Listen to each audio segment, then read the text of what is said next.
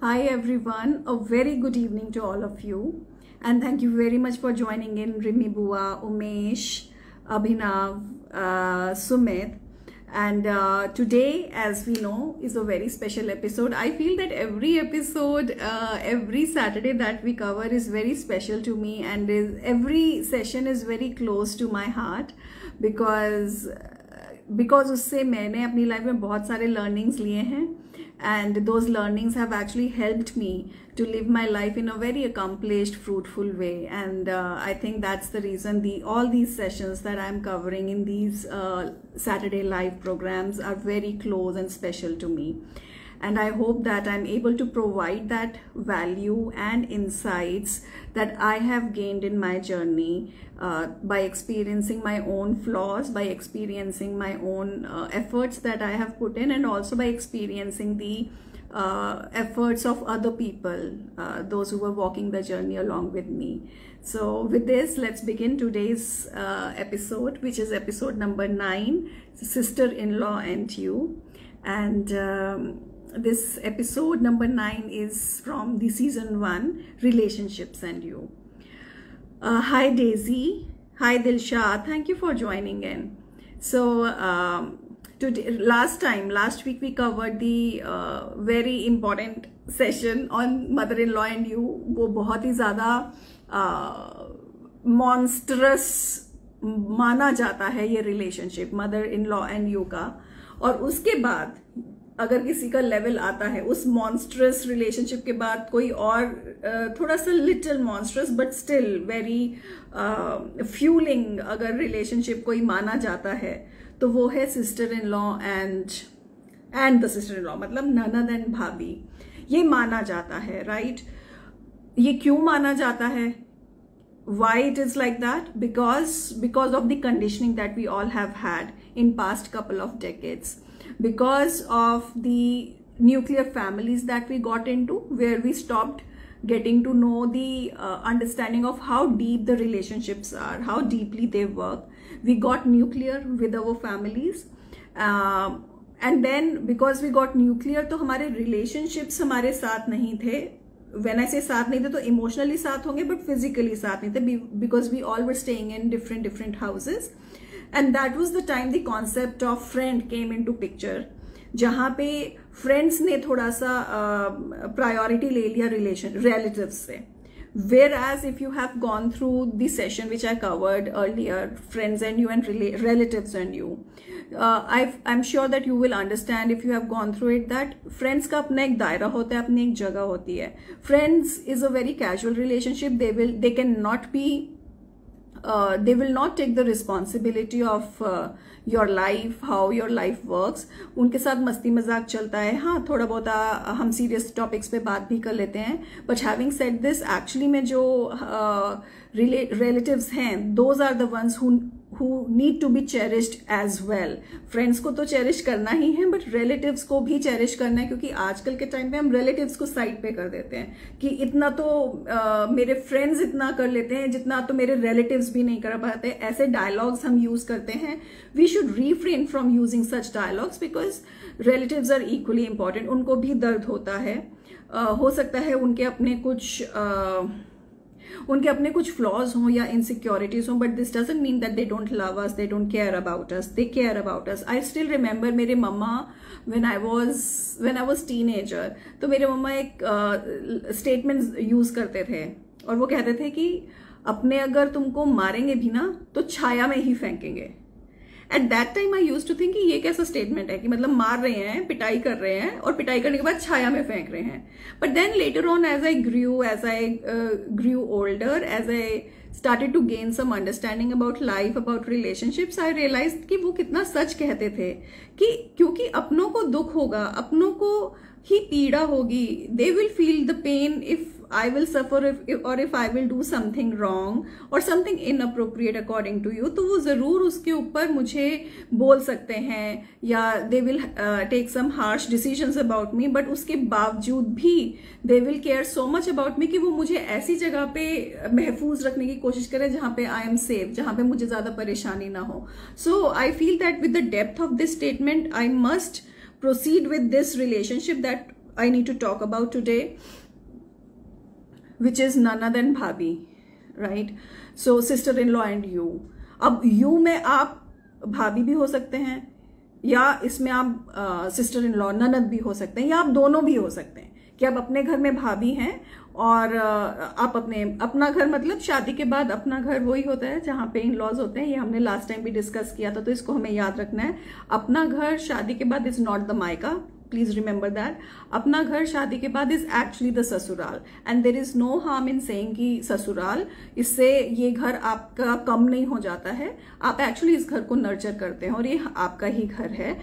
मैं property wise बात नहीं कर रही हूँ बट मैं एक इमोशन एक भाव और एक फीलिंग के तरह से बात कर रही हूँ. आप उसे सींचते हैं उस घर को, पूरा बना कर रखते हैं. So that is your house so हो सकता है कि आप अपने घर में भाभी हैं और आप अपने मायके में ननद हैं. तो आपका दोनों तरफ़ से आपका एक्सपीरियंस हो, ये हो सकता है। एंड मुझे लगता है कि अगर दोनों तरफ़ से आपका एक्सपीरियंस हो तो ये मुझे बहुत हेल्प करेगा आपके सेशन आज के सेशन में। So keep on sharing your thoughts और क्वेश्चंस अराउंड इट या कोई डेलेमास हैं तो वो भी आप ज़रूर शेयर करते रहिएगा। सो हु इज़ ननद ननद होती कौन है? Now who is nanad is while we represent her with this name as sister in law अपने, हम अपने इंडियन कल्चर में उसको ननद बोलते हैं। नाना दिस समवन जो, जिस घर जो अब आपका घर है right and remember I am not saying it from the property standpoint I am saying it from the intention and nurturing and caring standpoint कि जिस घर में अब आप हैं, जिस घर की ज़िम्मेदारी अब आपके ऊपर है ननद उसी घर में पैदा हुई है, उसी घर में वो बड़ी हुई है, उसी घर में उसको सब लाड प्यार मिला है। और अगर आपकी ननद मैरिड है तो उसी घर से उसकी विदाई हुई है जिसके बाद अब वो अपने घर में गई है राइट right? क्योंकि जैसे ये आपका घर है और पहले वाला शादी से पहले वाला आपका मायका है सिमिलरली आपकी ननद का भी ये उसका मायका है पर उसका अपना घर उधर ही है ससुराल में ही है राइट right? सो so, ये है ननद जो एक्चुअली में आ, इसी घर की है हुँ? हम्म? और अब उसका परिवार दूसरा है। तो ये ये याद रखना है राइट जो ये अभी मैं आपके साथ शेयर कर ये आपको ध्यान रखना है। ये मैंने भी ध्यान रखा है। कई बार हमें समय लग जाता है इन चीज़ों को ध्यान में लाने में। Sometimes we take time to get aware of certain things sometimes we take time to realise certain things sometimes we take time to understand certain things but that's okay that's okay there is no harm in understanding it whenever it comes to you वो कहते हैं ना सुबह का भूला अगर शाम को घर आ जाए तो उसे भूला नहीं कहते। Right right? सो so, उसी तरह से है। सो so, हम मैनी अ टाइम्स ये भूल जाते हैं कि जो हमारी ननद है वो एक्चुअली में यहीं की है। हुँ? हम्म, अब उनका घर दूसरा है पर बेटी तो वो इसी घर की रहेंगी। सो so, ये है ननद। अगर ननद ये है तो भाभी कौन है? Right right? भाभी वो हैं जो जिस घर में वो पैदा हुई हैं जिस घर में she has been taken care of और उनको पूरा प्यार पैम्परिंग सब कुछ मिला है वो उस घर को छोड़कर uh, छोड़ना is not the right thing to say but I will say that वो उस घर में उस uh, जब वो मच्योर हुई और वो uh, लोगों का ध्यान रखने के या केयर करने के जोन में I so that was the time when she uh, said bye to her house and she came to this house where your nanad used to live.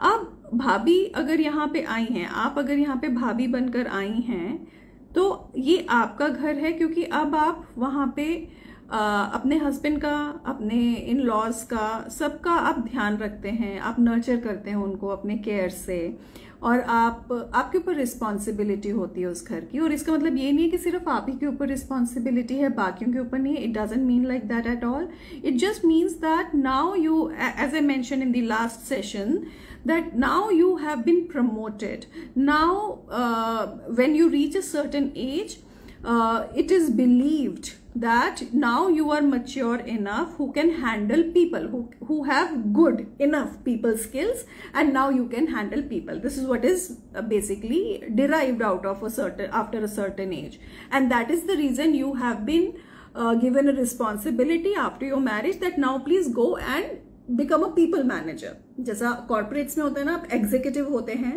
तो एग्जीक्यूटिव के कुछ पर्टिकुलर टेन्योर के बाद they train you they sorry they don't train you but they promote you as a manager without knowing whether you will be able to handle the people और not उधर भी ऐसा होता है राइट right? पर क्योंकि वहाँ पे सैलरी एट स्टेक होती है प्रमोशन एट स्टेक होती है तो आप सीख लेते हैं पीपल मैनेज करना पर यहाँ पे कई बार क्या होता है कि we get promoted after we get married right and uh, because it is believed that now if you are at a certain age you have acquired enough wisdom you have acquired enough knowledge and understanding about people and relationships that now you can take care of people and relationships and this is what i mean कि जब हम शादी करके अपने ससुराल में जाते हैं तो we actually nurture that house and we have the responsibility of those people. Similarly other people have the responsibilities पर उसके बारे में हम फिर किसी सेशन में बात करेंगे। आज का सेशन एक्सक्लूसिवली सिर्फ़ ननद और भाभी के ऊपर है। सो so, जब हम वहाँ जाते हैं we actually are the one हम हम वहाँ पे रिप्लेसमेंट की तरह नहीं जा रहे हैं। ये हमको याद रखना है कि जब हम अपने ससुराल आते हैं तो हम अपनी ननद की रिप्लेसमेंट नहीं है। हमसे सबसे बड़ी गलती यही होती है। और ये गलती में बहुत बड़ा योगदान टीवी सीरियल्स का भी होता है because they keep on showing such programmes जहाँ पे वो कहते हैं कि बेटी बहू बहू को हम बेटी मानते हैं ये हमारी बहू नहीं है ये बेटी है। सो so, और ये लास्ट सेशन में भी मैंने कवर किया था कि हमको बेटी बनना ही नहीं है। बेटी तो हम हैं ऑलरेडी अपने पेरेंट्स के हमको बनना है बहू क्योंकि बहू को मिलता है मान सम्मान अधिकार एंड वेन आई से अधिकार I am not talking about the property related things i'm talking about the uh, about the freedom to take care of the rituals to progress this family this family which family my family right हमारी अपनी family को progress करने का हमको एक अधिकार मिलता है ये ननद के पास नहीं होता ननद के पास इधर के लिए नहीं होता जहाँ की वो बेटी है पर ननद के पास सिमिलर यही अधिकार उनके अपने घर में होता है जहाँ पे वो शादी करके गई है। तो ये डिफरेंस हमको ज़रूर समझना है। अगर आप ननद हैं then also please pay attention to this कि आपका आपको अपने मायके में प्यार मिल मिलना चाहिए और मिलेगा भी। लाइक like, आपको अपने मायके में प्यार मिलेगा और मिलना भी चाहिए। एंड आपको जो अधिकार मिलेगा, वो आपको आपके ससुराल में मिलेगा क्योंकि वहीं पे आपके पास रिस्पॉन्सिबिलिटीज आई मायके में तो लाड है, मायके में तो प्यार है राइट तो ये चीज़ हम सबको ध्यान रखनी है, भाभीियों को भी और नंदों को भी that bhabhi is not the replacement और भाभी को खुद भी यही महसूस करना है कि वो रिप्लेसमेंट नहीं है ननद की। वो एक ऐसा लिंक है जो उस फैमिली को कंप्लीट करती हैं। किस फैमिली को? जो उनकी खुद की अब फैमिली है, शादी के बाद। उस फैमिली को कंप्लीट करती हैं, उस फैमिली का प्रोग्रेशन करती हैं। In any which ways maybe when they give birth to child तब भी प्रोग्रेस हो रही है फैमिली एंड मे बी जब वो रिचुअल्स को फॉलो कर रहे हैं, जो उस पर्टिकुलर फैमिली का कल्चर है, तब भी प्रोग्रेशन ही हो रहा है right so this is how the entire आप कह सकते हैं टेरिटरी इज़ डिफाइंड तो पहले जो ये रिलेशनशिप्स बने थे टेरिटरीज ऐसे ही डिफाइंड हुई थी कि बहू जो है, वो घर का सम्मान है, घर को आगे बढ़ाती है और जो बेटी है, वो घर का प्यार है और वो दूसरे घर जाती है, पराया धन जिसको बोला जाता था। पर अभी जब ये, जब से ये वुमेन एम्पावरमेंट और ये फेमिनिज्म वाले कॉन्सेप्ट्स आए हैं तो इसमें भी अब बोला जाता है कि पराया धन क्यों? There are so many you know emotional satires that I hear on various channels जो बोलते हैं कि मेरा अपना क्या है? Uh, माँ बाप के यहाँ बोला जाता है कि ये पराया घर है। शादी के बाद बोला जाता है कि ये ससुराल है। तो मेरा अपना क्या है? मेरा अपना में हमारा तो वैसे भी अपना कुछ नहीं होता। किसी का अपना कुछ नहीं है। हमारे अपने ये रिलेशंस ही हैं। सो so, हमारे अपने ये सास है ससुर है ननद है। हस्बैंड है तो ये सारे हमारे अपने this is what we need to take care of so में बहुत ज़्यादा दिक्कत आती है इस रिलेशनशिप में आफ्टर सास बहू का रिलेशनशिप ननद एंड भाभी वाले रिलेशनशिप में. क्यों? क्योंकि ऐसा माना जाता है कि ननद तो एक ऐसी वैम्प है जो आ, जो भड़काएगी you know who will back bitch about bhabhi who will not let her mom live peacefully with bhabhi. तो ऐसा माना जाता है ऐसा दिखाया भी गया है सीरियल में आई नो दैट राइट और सिमिलरली भाभी को भी एक ऐसा वैम बनाया गया है कि जो चाहती ही नहीं है कि भी ननद का पैर घर में पड़े। राइट और ऐसा कई केसेस में सच भी होता है। आई एम नॉट सेइंग कि ये सीरियल्स में दिखाए और ऐसा नहीं होता क्योंकि कुछ लोग सोच रहे होंगे कि हमारे साथ तो हुआ है। तो बिल्कुल हुआ होगा। आ, हो सकता है हुआ हो। बट देन अगर ऐसा हुआ है उसको रिवर्स करने की भी, उसको मेंड करने की भी, उसको फिक्स करने की भी पावर हमारे पास है रिमेंबर एज आई मैंशन कि I mention it in this session spouse and you I guess कि जो फीमेल होती है, वो शक्ति का रूप होती है। This is what is said in our culture that Shiv Shakti तो जबकि हम में दोनों पावर्स है मैस्कुलिन फेमिनिन हम सब में होता है। मेल्स में भी होता है फीमेल्स में भी होता है। But if I have taken birth in the body of a female तो मेरे में शक्ति प्रीडोमिनेंट है so if I have the shakti then I have all the tools available with me already where I can fix things right तो अब शक्ति भाभी भी है और शक्ति ननद भी है। मैजिक यही है this is the magic that bhabhi is also the shakti and nanad is also the shakti right अब इसका मतलब यह है कि दोनों के पास पावर है इस पूरे रिलेशनशिप को हारमोनियस बनाने का राइट right? तो देर इज़ अ पॉसिबिलिटी कि uh, कई बारी हमारे पेरेंट्स जब अपनी uh, अपना पेन या अब जो बातें उनको बुरी लगी हैं अपनी बहू की वो अगर अपनी बेटी के साथ डिस्कस करते हैं तो उस समय पे भी ननद और भाभी के बीच में फ्रिक्शन आ जाता है। Right right? अब इस केस में समझदारी बहुत लोगों की समझदारी चाहिए हमें। इस केस में सास ससुर को भी समझदार होना चाहिए कि वो अपनी घर की बात ऐसे ना बताएँ। क्योंकि रिमेंबर जब शादी हुई है बेटी की तो बेटी का एक्चुअल ध्यान अपने ससुराल में होना चाहिए राइट right? जब तक कि अब हम एक्सट्रीम्स में नहीं जाएँगे। अगर आपकी, अगर डॉटर इन लॉ बिल्कुल ही क्रिमिनल तरीके से एक्ट करिए, वो बात सेपरेट है, पर ऐसा छोटा मोटा तो हर घर में चलता रहता है। This we all have to understand right पर आजकल जनरली हम क्या करते हैं कि छोटी सी बात को भी इतना बड़ा करके बताते हैं कि एज इफ़ की पता नहीं क्या ही क्रिमिनल एक्टिविटी हो गई है। So parents the in-laws also have to understand that they should not be discussing each and every छोटी छोटी छोटी छोटी बात अपने बहू की, अपनी बेटी के साथ। क्यों? क्योंकि फिर जो फ्रिक्शन है वो बहू में और बेटी में आएगा। Right right? सिमिलरली हमें समझदारी ननद की साइड से भी चाहिए कि जब उनके पेरेंट्स अपनी जो भी पेन है या जो भी उनको बुरा लगा है अपनी बेटी के साथ डिस्कस कर रहे हैं तो ननद शुड अंडरस्टैंड कि अब मुझे इसको ज़्यादा सिर पे नहीं लेना है। I should not feel like oh हो मेरे पेरेंट्स के साथ तो पता नहीं क्या ही हो रहा है। ऐसा नहीं लेना है till the time it is a domestic violence और क्रिमिनल वायलेंस और whatever you know extreme का इश्यू अगर नहीं है तो उसकी वजह से अपना परसेप्शन और अपना रिलेशनशिप अपनी भाभी के लिए मन में खराब नहीं करना है। ये ननद की समझदारी है। राइट एंड सिमिलरली हमें भाभी की तरफ़ से भी समझदारी चाहिए वेयर शी अंडरस्टैंड कि बाई चांस अगर जो ननद है, उसने अगर हमें इग्नोर कर दिया, या उसने हमसे एक बारी अच्छे से बात नहीं की तो देर इज़ अ पॉसिबिलिटी कि शायद कुछ ऐसा होगा जिसकी वजह से she might be feeling something otherwise about me and which is okay remember ये लास्ट में ये स्टेटमेंट बोलना बहुत ज़रूरी है विच इज़ ओके क्योंकि हम भी तो बहुत लोगों के बारे में बहुत कुछ सोचते हैं।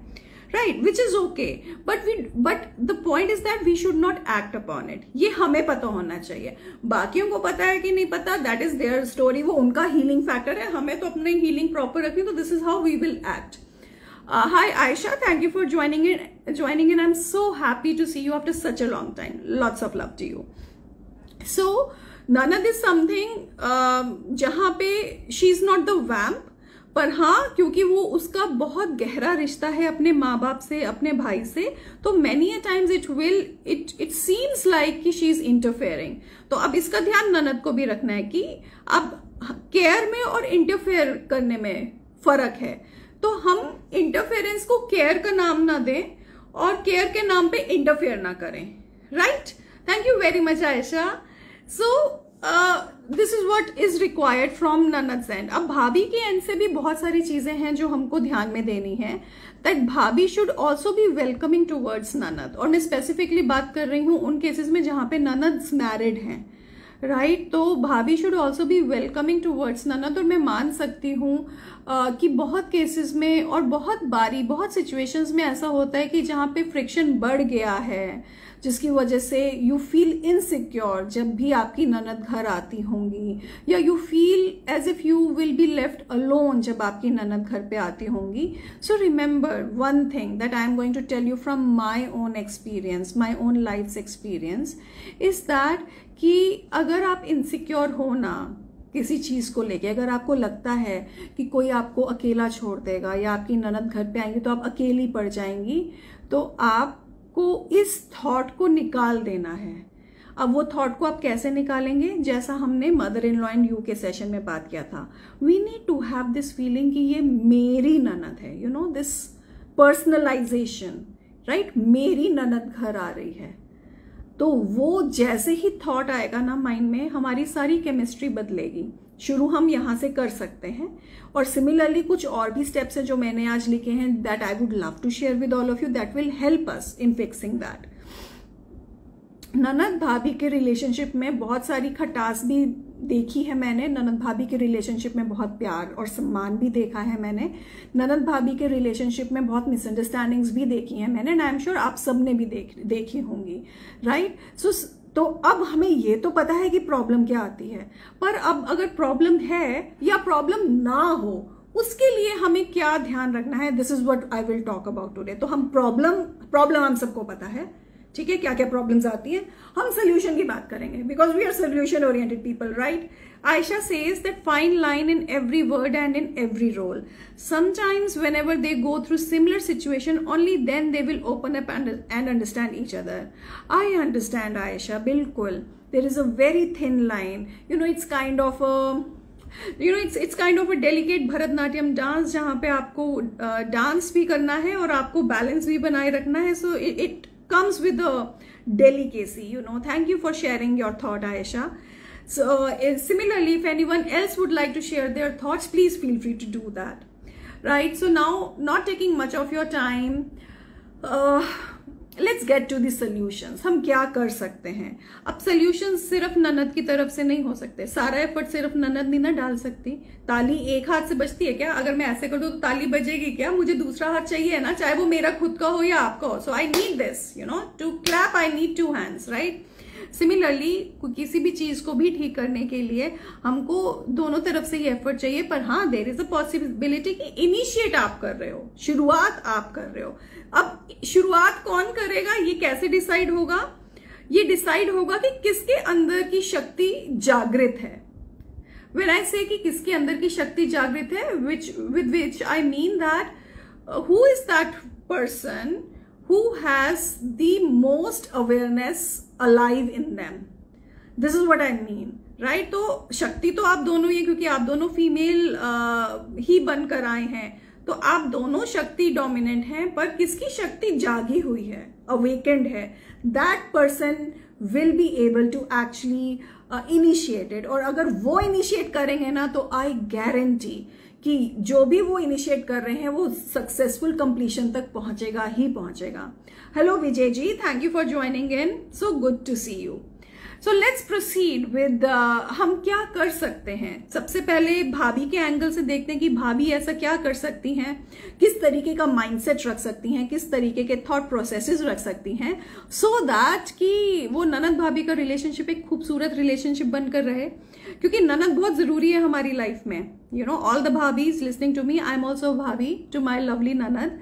ननद बहुत ज़रूरी है हमारी लाइफ में। जिन लोगों के, जिन बहुओं के ननद नहीं होती है। Actually you know I feel that they miss out on some some serious learning of life क्योंकि if you have a nanad at that time आपकी एक फीमेल कंपेनियन भी है।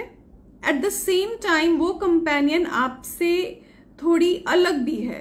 क्योंकि उसकी अपब्रिंगिंग डिफरेंट है क्योंकि उसकी आ, उसकी कंडीशनिंग डिफरेंट है। और yet you both are related to each other with the medium of the same house and same set of people तो वो जो एक तालमेल की लर्निंग है ना, वो जो एक ग्रोथ है, जो एक बैलेंस बिठाने में जो मिलती है, वो ग्रोथ हम मिस कर जाते हैं जब हमारी ननद नहीं होती right similarly I feel that this relationship अगर हम इसको, इसकी डेप्थ से जिए it can bring us a lot of learnings it can bring us a lot of growth and prosperity also कैसे इसके ऊपर विल सी की क्या हमारे टिप्स हैं that can help us hello Nitin thank you for joining in good to see you so let's talk from the bhabhi's point uh, not point of view from but from the mindset that a bhabhi need to carry for the nanad Right so सबसे पहला जो एक rule rule है या mindset है, जो as a भाभी हमको रखना है। Hi Charu thank you for joining in lovely to see you so good to see you so coming back to it the very first thing that that the mindset which is required with all the bhabhi and remember I am also bhabhi ठीक है? तो मैं ननद नहीं हूँ, किसी क्योंकि मेरा भाई नहीं है बट uh, uh, मैं भाभी ज़रूर हूँ। I am and I am I am very fortunate कि मेरी ननद है and I love her a lot and I know she loves me a lot तो सबसे पहला तो यह है कि accept your nanad as the beti of the house ये सबसे ज़्यादा ज़रूरी है। प्रॉब्लम ही वहाँ से शुरू होती है जब हम ये सोचते हैं कि अब तो इसकी शादी हो गई अब ये घर मेरा है और इसका घर तो वो है। Right right? थोड़ी देर पहले ही हमने बात की है कि हाँ उसकी शादी हो गई वो घर ज़रूर उसका अपना घर है पर ये घर जिस जो अब आपका है ये घर उसका मायका है। और वो इस घर की बेटी है और वो इस घर की बेटी हमेशा रहेगी जैसे आप अपने मायके में बेटी हमेशा रहेंगी। That's the very first thing which we as a bhabhi have to remember and accept क्योंकि क्योंकि उसके बिना ये पूरी फैमिली अधूरी है यू you नो know, आप अगर उसको एंटरटेन नहीं भी करेंगे वेलकम नहीं भी करेंगे वो फिर भी दिलों में रहेगी। और मेरे हिसाब से जितना मैंने एक्सपीरियंस किया है रिलेशनशिप ये ननद भाभी का वो मेरे दिल में भी रहनी चाहिए। मेरे को भी उसके लिए प्यार होना चाहिए क्योंकि ये ये काम सिर्फ़ एक फीमेल कर सकती है यू you नो know, बहुत अच्छे एक्सटेंट पे। Female has the capacity to care and nurture people जो शायद उसके क्लोज दायरे में भी ना हो राइट right? तभी वो क्रिएटर भी हैं। सिमिलरली अब जब उनकी शादी हुई है तो ननद तो उनके क्लोज दायरे में आ ही गई है तो वो भी उनके मन में रहनी चाहिए। So she will always your nanad will always remain the beti of this house and you must accept this fact कि वो बेटी हैं और वो आपके मन में भी रहनी चाहिए। ये ज़रूरी है। This is the first thing भाभी के लिए। एंड रिमेंबर मैं भी भाभी हूँ तो जब मैं आपको बोल रही हूँ तो मैं भी सुन रही हूँ और मैं भी इसको इंप्लीमेंट करती भी हूँ और मैं करूँगी भी। और ज़्यादा अच्छे से इंप्लीमेंट करूँगी और आपको भी यही करना है राइट सेकेंड पॉइंट इज़ जो अभी मैंने थोड़ी देर पहले बोला था second point that the mindset that a bhabhi has to carry with her is that you are not the replacement of your nanad. आप बेटी नहीं है अपने ससुराल की, आपको बेटी बनना भी नहीं है, आपको बहू बनना है। प्यार, सम्मान इज़्ज़त, अधिकार सब मिलेगा, पर हमें पहले बहू बन के रहना है। बेटी बन के तो ननद रहेगी और हम बेटी बन के अपने मायके में रहेंगे, पर अपने ससुराल में there has to be some responsibilities जैसे जब आपका प्रमोशन होता है और आप एग्जीक्यूटिव से मैनेजर बनते हैं तो आपको कुछ और ज़्यादा रिस्पॉन्सिबिलिटीज मिलती है ना, बस वही आपको अपने लिए भी समझना है कि जब आप एक बेटी से बहू बन के जा रहे हो कहीं पे यू नो मेरे को इसे ध्यान आ रहा है why I am laughing is मुझे कैंपस टू कॉर्पोरेट याद आ रहा है राइट कैंपस टू कॉर्पोरेट एक सेशन होता है जो मैं जनरली कंडक्ट करती हूँ to provide the professionalism to the people who are just going to graduate और फिर उनकी प्लेसमेंट हो गई है। तो कैंपस टू कॉर्पोरेट में हम यही सिखाते हैं भी कैंपस में तो आप रह लिए बच्चे की तरह अब कॉर्पोरेट में जा रहे हो तो प्रोफेशनलिज्म होना चाहिए रिस्पॉन्सिबिलिटी फुलफिल करनी है कमिटमेंट uh, के साथ करनी है अकाउंटेबिलिटी लेनी है एक्सेट्रा एक्सेट्रा यही similar cheese I am saying that we have to implement as bahu right right? तो भाभी जो है मैं भी एक भाभी हूँ तो मैं यही अपने आप को भी कहना चाहूँगी और मैं आप सबको भी ये कहना चाहूँगी कि we are not the replacement of our nanads ठीक है we are that addition in the family which progresses the family तो ये पावर सिर्फ़ हमारे पास है, ननद के पास नहीं है, याद रखना। आप जिनको लगता है ना कि ननद को तो इतना मानते हैं मायके में तो ठीक है, मानने दो ना। प्यार मिलना ही चाहिए। आपका भी प्यार उसको मिलना चाहिए क्योंकि वो बेटी है, पहली बात। दूसरी बात ये कि आप ही इस घर को प्रोग्रेस करा सकते हैं। वो नहीं करा सकते क्योंकि उनके पास अपना घर है प्रोग्रेस कराने के लिए राइट ये उनको समझना, ये उनकी तरफ़ से समझने की बात है। हमारी तरफ़ से समझने की बात ये है कि I am that addition in my family current ससुराल वाली फैमिली जहाँ पे मैं ही इस फैमिली को आगे लेके जा सकती हूँ राइट और ये कितने बड़े मान की बात है। ये आप ही कर सकते हैं एज अ भाभी। तो it's a proud moment for all of us and we must cherish this proud moment so do remember this now the third mindset जो हम सबको एज अ भाभी uh, अपनाना है वो है कि don't make friends with your nanad ठीक है? Respect her as your nanad that's the very important thing जैसे 40-50 साल यू नो 40-50 डेकेड्स में बहुत सारा वेस्टर्नाइजेशन हुआ है ओवर uh, हेयर जहाँ पे हम हर चीज़ को दोस्ती मानते हैं। हमें हस्बैंड में भी दोस्त चाहिए, हमें सास में भी फ्रेंड चाहिए, हमें ससुर में भी फ्रेंड चाहिए, हमें जीजा जी में भी फ्रेंड चाहिए, हमें ननद में भी फ्रेंड चाहिए, मम्मी पापा भी हमारे फ्रेंड होने चाहिए हमारे भाई बहन भी हमारे फ्रेंड होने चाहिए। इतने सारे फ्रेंड इकट्ठे करके हमने करना क्या है? That's the main thing right और अगर आपने मेरा रिलेटिव्स एंड यू वाला सेशन देखा है तो उसमें भी मैंने मेंशन किया है कि फ्रेंड्स का रिलेशनशिप बहुत कैजुअल रिलेशनशिप होता है। फ्रेंड्स आपके साथ मस्ती मज़ाक कर सकते हैं, आपके साथ घूमने जा सकते हैं, पर आप पर आपके बहुत क्लोज निजी मोमेंट्स में आपके फ्रेंड्स हर बारी साथ नहीं हो सकते। वहाँ पे हमारे रिलेटिव्स आते हैं। रिलेटिव्स की एक अपनी जगह है, वो बहुत खूबसूरत जगह है। उसको, उनको वहीं रहने दीजिए। उनको उठाकर प्लीज़ फ्रेंड्स की कैटेगरी में मत रखिए। सिमिलरली आपके फ्रेंड्स बहुत प्रेशियस हैं। उनको वो प्रेशियसनेस दीजिए। पर हर किसी को लाके यहाँ पे मत रख दीजिए, क्योंकि फिर आपका जो फ्रेंड्स वाला एक जगह है ना, वो पॉल्यूटेड हो जाएगा। करप्टेड हो जाएगा। एंड सिमिलरली रिलेटिव्स के साथ भी यही हो रहा है। So please we do not want to become friends to our nanad. मैं नहीं चाहती, पर मैं अपनी ननद को ननद वाला इज़्ज़त देना चाहती हूँ। मैं ननद को ननद वाला प्यार देना चाहती हूँ और वो मैं देती हूँ। यही हमको करना है। ठीक है तो प्लीज़ डोंट थिंक कि वो मेरी, वो तो मेरी फ्रेंड जैसी है। वो फ्रेंड जैसी नहीं है, आपको बनना भी नहीं है, आपको उसके साथ मस्खरी भी नहीं करनी है, आपको उसके साथ कैजुअल भी नहीं होना, आपको सिर्फ़ एज अ बहू अगर आपकी ननद है तो उसके साथ किस तरीके से पेश आना चाहिए respectfully with love considering that she is the beti of the house तो इन सारी चीज़ों को ध्यान में रखते हुए आपको उसके साथ पेश आना है। That is very important so I hope that this point is clear ये बहुत डिबेटेबल रहता है मेरे बहुत सारे सेशंस में प्रोग्राम्स में, जहाँ पे मैं ये बात बोलती हूँ।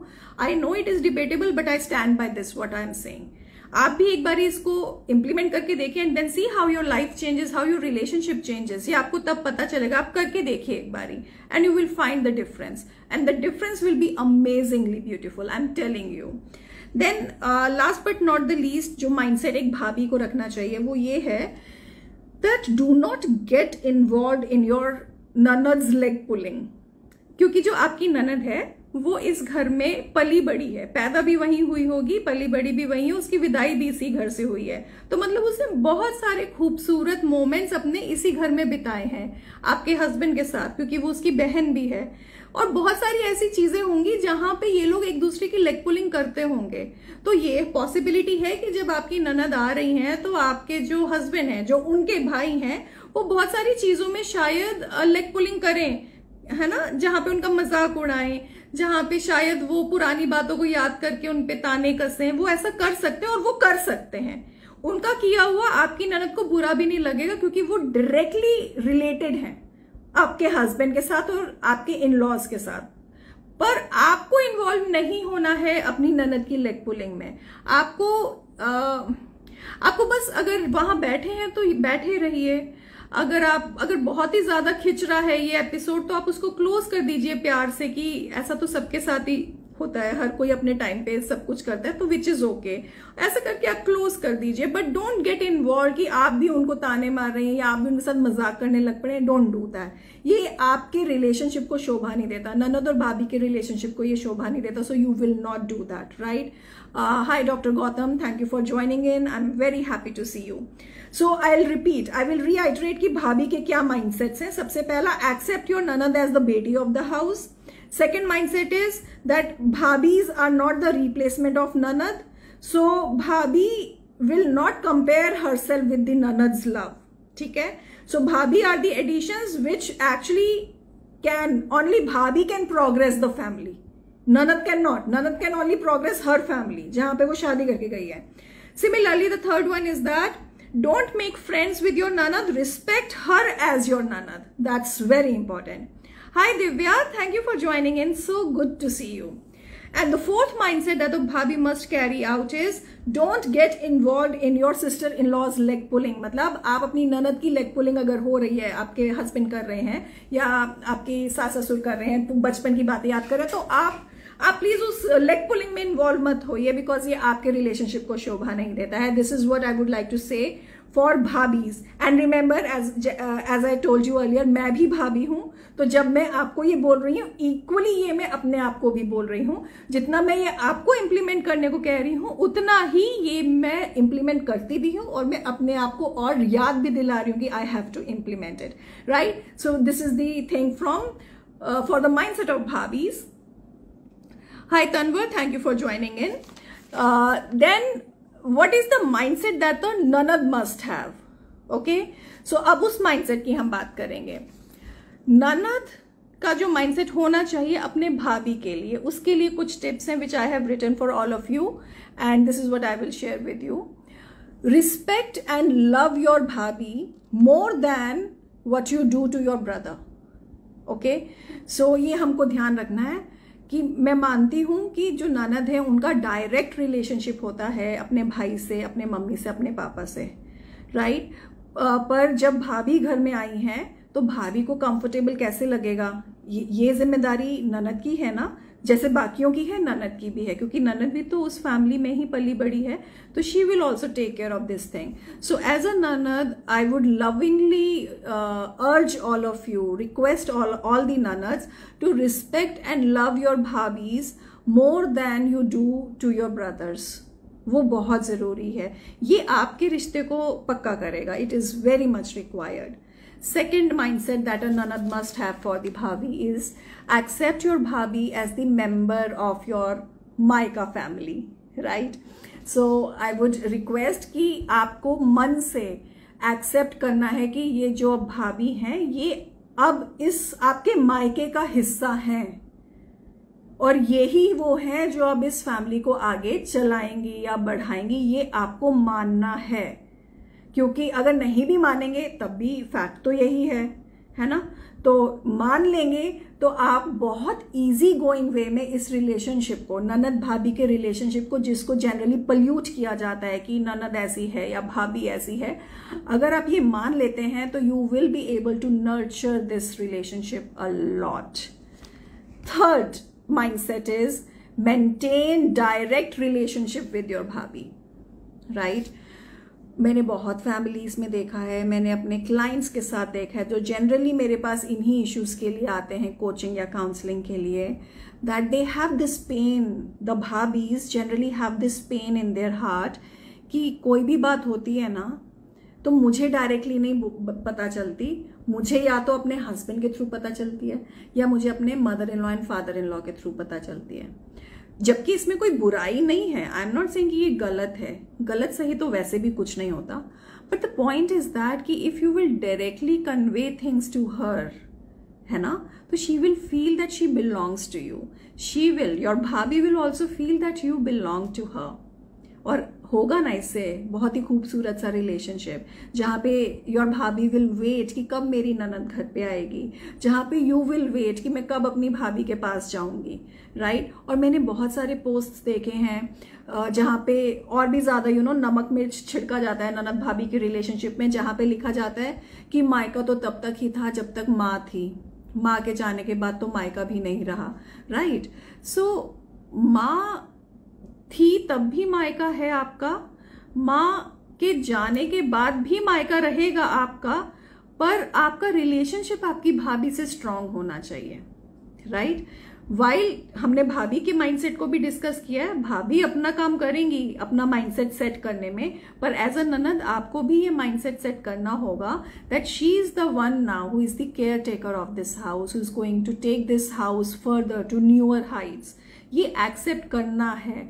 जैसे ही आप एक्सेप्ट करेंगे ना, आपके माइंड की जितनी भी केमिस्ट्री एंड केमिकल और जितने भी केमिकल लोचे हैं, वो सब बदल जाएँगे and it will transform it into a beautiful nurturing relationship a wonderful relationship then the fourth one is do not compare yourself with your bhabhi because she is the bahu of the house and you are the daughter of the house इसमें बहुत बड़ा difference है right और ये difference मैंने discuss किया था पिछले सेशन में भी जहाँ पे हम mother in law and you के बारे में बात कर रहे थे राइट right? वो मैंने बहू के परस्पेक्टिव से और सास के परस्पेक्टिव से डिस्कस किया था, पर वहाँ से आपको कुछ कुछ लिंक्स मिल जाएँगे जो मैं इस पॉइंट में बोलना चाह रही हूँ। दैट अगर आप ननद हैं तो आप अपने आप को अपनी भाभी से कंपेयर नहीं कर सकते, क्योंकि आप दोनों का अस्तित्व अलग है।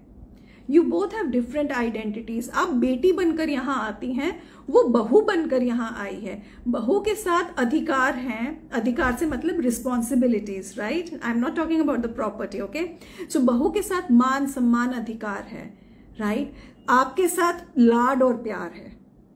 तो जब आप आप दोनों को जिस भाव से महसूस जिस, जो भाव आप दोनों महसूस करते हैं वो अलग हैं तो कंपैरिजन कैसे हो सकता है?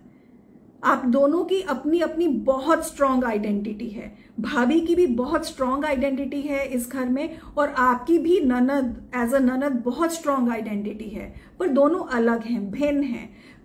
Respect that identity of yours. And don't belittle yourself by comparing yourself with your भाभी. आप अपने में बहुत मान रखती हैं. और जब आप अपने में मान रखेंगी, बेटी का मान रखेंगी तो आपकी भाभी भी आपको वही बेटी का मान और सम्मान देंगी और देना चाहिए भी और दे पाएँगी भी. ये याद रखना है. And then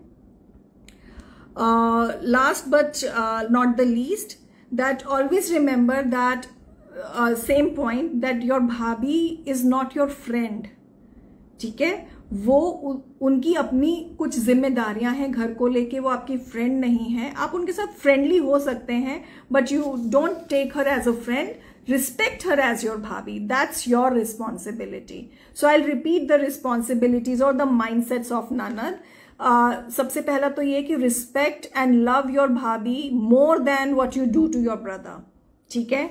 Second is accept your bhabhi as the member of your maika family now she is the one who is going to take care and progress this maika family of yours third is maintain direct relationship with her ठीक है? किसी से घुमा फिरा के कहीं और से बात पता चले। लेट्स से कि अगर मैरिज एनिवर्सरी तो मैंने देखा है बहुत सारी आ, मेरी फ्रेंड्स हैं जो ननद भी हैं। हाँ तो वो अपनी मम्मा को फ़ोन करती हैं कि भैया की शादी की सालगिरह की मुबारकबाद हो।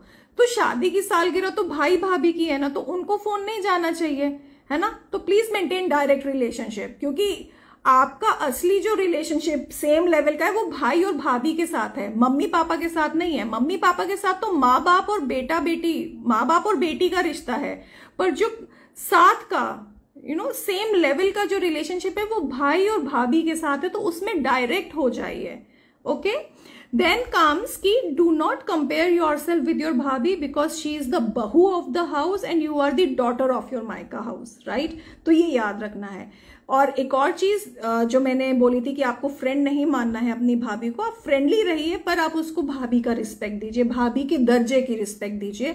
Another thing that I would like to say is that if you are the nanad तो आपको ये ध्यान रखना है कि आपका असली घर आपका ससुराल है okay okay?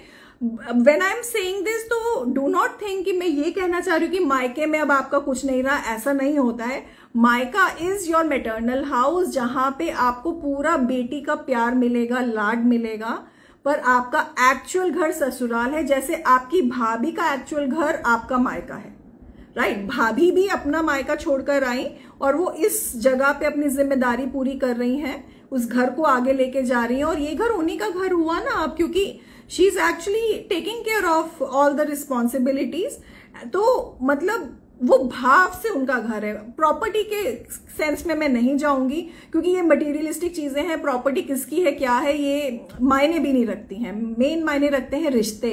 तो जो भाभी है आपकी, वो अपना मायका छोड़कर इस घर में, जो अब उनका ही घर हुआ ना, वो अपना घर मान के इसको नर्चर करेंगी। तो वो यहाँ पे जब नर्चर करें तो उनको मान सम्मान मिल रहा है, अधिकार मिल रहा है फ्रीडम मिल रही है रिस्पॉन्सिबिलिटीज निभाने की। सिमिलरली अब आपका जो मायका है वो आपका लाड प्यार वाला समर वेकेशन विंटर वेकेशन या जब भी आपको आना है, आपको प्यार मिलेगा, खूब सारा मिलेगा। पर आपका जो अधिकार मिलने वाला जो सिस्टम है, वो आपको आपके ससुराल में मिलेगा, शादी अगर आपकी हो गई है तो। तो इस चीज़ को ध्यान रखना है कि आपको अपने उस घर को पूरा नर्चर करना है। जैसा आप चाहते हैं कि आपकी भाभी आपके मायके वाले घर को नर्चर करे।